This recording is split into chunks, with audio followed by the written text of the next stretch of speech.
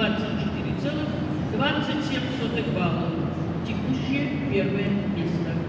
На старт приглашается Владислав Дикиджин. Звездный лед.